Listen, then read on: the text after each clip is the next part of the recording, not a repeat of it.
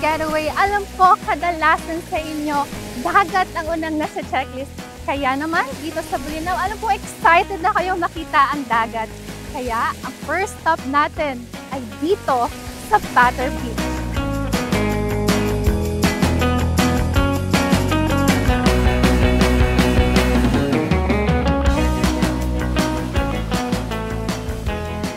Pinakaagaw pansin talaga dito ay yung white sand beach na bubungad sa'yo dito sa Patar. Instagram worthy, di ba? It is a public beach at cottage lang ang may rental fee. Pwede kayo magdala ng sarili niyong pagkain. Kadalasan din sa mga matutuluyan may mga hatid na beach views tulad na lang ng hotel na ito. Dito lang yan sa Pater Beach.